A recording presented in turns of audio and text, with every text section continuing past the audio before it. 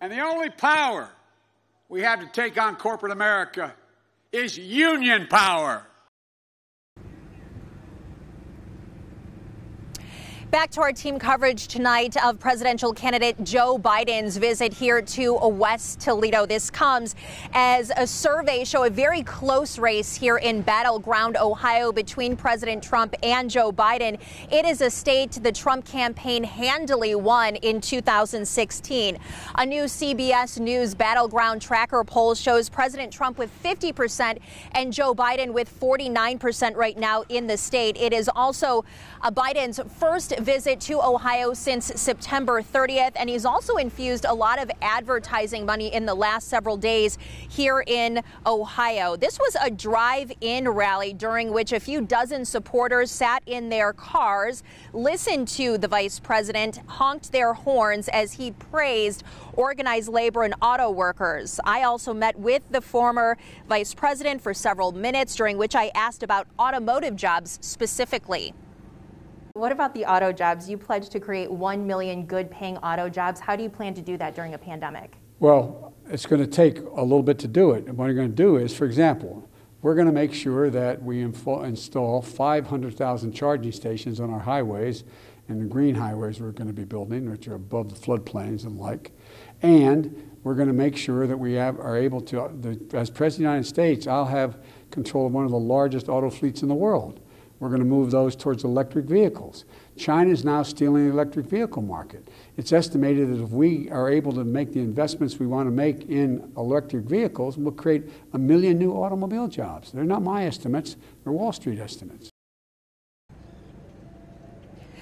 Now, the Trump campaign mocked Biden for traveling to Ohio for what it calls just a handful of supporters, saying that he wasted valuable time on the campaign trail visiting this area with just a few weeks to go. We also put a call out for viewer questions. We got 1,500 responses, and coming up at 6 tonight, you'll hear exactly what the former vice president had to say about job creation, the middle class, and taxes. You can also see my full interview with Joe Biden right now on YouTube.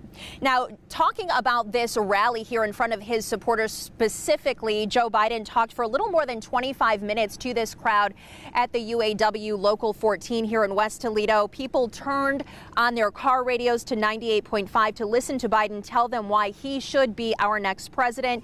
You could hear honks and cheers when he spoke about restoring the auto worker in America, cutting taxes for those who make less than $400,000, and supporting union workers. He was introduced by Toledo Mayor Wade Kapszukiewicz and Congresswoman Marcy Kaptur. Well, anytime a candidate makes a campaign speech, he or she offers promises and talks about their platform. Lead investigator Brian Dugger joins us tonight. We asked him to fact check a few of the vice president's statements. He said his plan would create more jobs than the president's. Brian, what can you tell us about this?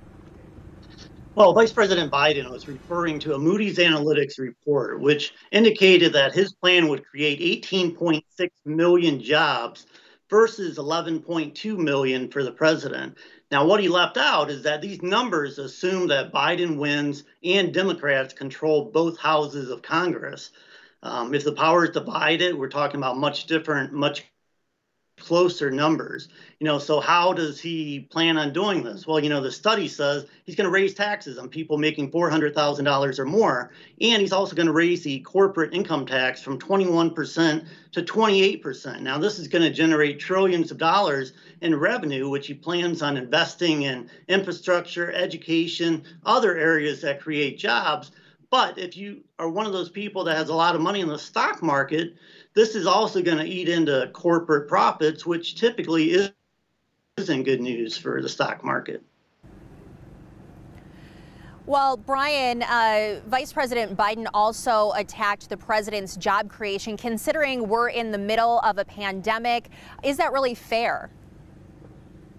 Well, that's a good question. And what he was referring to, he said if President Trump loses, that he will be the first president since Herbert Hoover to actually lose jobs while in Congress, while in office. And as, as you mentioned, I mean, we are in the middle of a pandemic.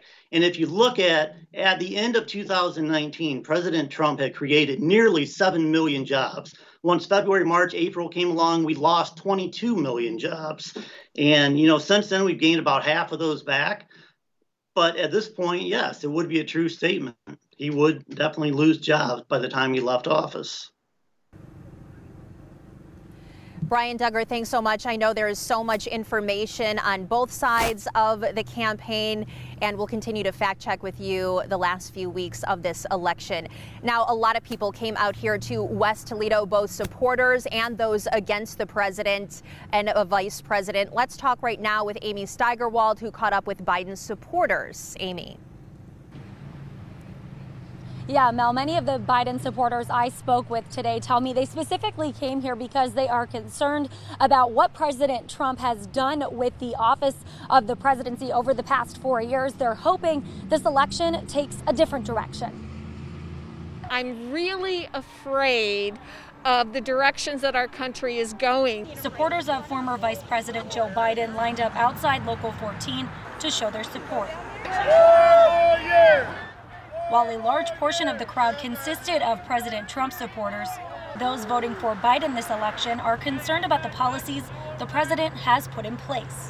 Our loss of freedoms, about the, the policies that are going to affect women, about health care. A big supporter of Biden. I think uh, Trump has been a disaster for the past uh, four years and I'm, I just can't sit home. I have to speak up. In his speech, Biden focused on job creation here in Ohio, specifically in manufacturing, which is something his supporters want to see.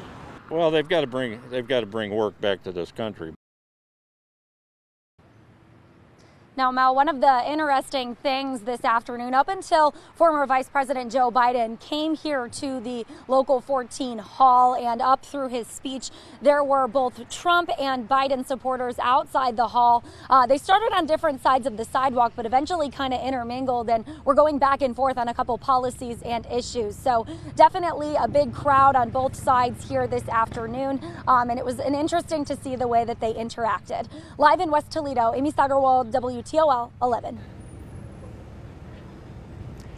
I can attest to that, Amy. We were getting ready for our live shots out here tonight, and one of the workers stopped by to call us fake news. Speaking of that, uh, John Monk caught up with some of the protesters, those against Joe Biden. He is at the early vote center tonight. John, who did you talk to, and what did they tell you? Yeah, Melissa, uh, starting this morning, we weren't even sure if there were going to be any opposition protesters coming out to the Joe Biden event, but over the period of about an hour before uh, the former vice president showed up, a bunch of Trump supporters came out of the woodwork and uh, showed their support openly for the incumbent president. A handful of those protesters said they themselves were union workers who were not voting for Biden but voting for President Trump. During his speech today, Joe Biden claimed that President Trump broke promises to American workers, citing the closing of the Lordstown plant. Biden also went on saying that President Trump has more interest in the stock market than the average American. Lucas County Republican uh, Party spokesperson Josh Culling says President Trump actually replaced NAFTA with something better for the Toledo auto worker, which Culling says is something that the Democrats, including Joe Biden, have said they were going to do for years.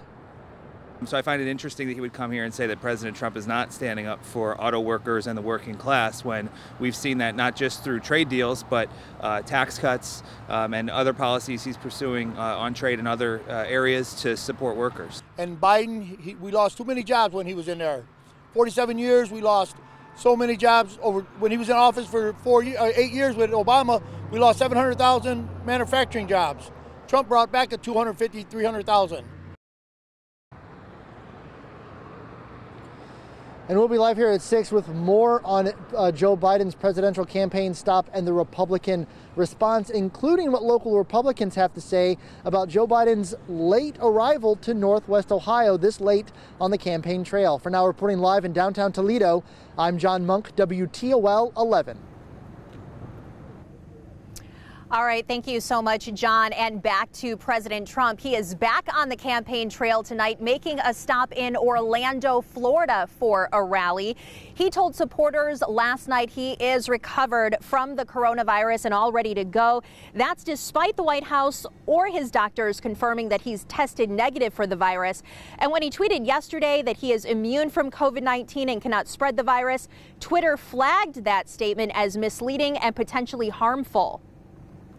It's very difficult to know if someone is infectious or not with the current tests.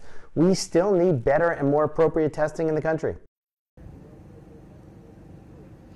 Now, there are reports that the president has asked his campaign to put him on the road every day between now and November 3rd, and that his team is working on a schedule to make that happen. Meanwhile, Vice President Mike Pence made stops in Ohio, and he will be in Michigan this week. He was in Columbus today for a Make America Great Again event, and he'll be in Grand Rapids, Michigan Wednesday. The vice president visited Ohio last month and Michigan in August. We have much, much more from uh, the vice president's campaign stop here in West Toledo tonight. Dan, for now, I'll send it back to you.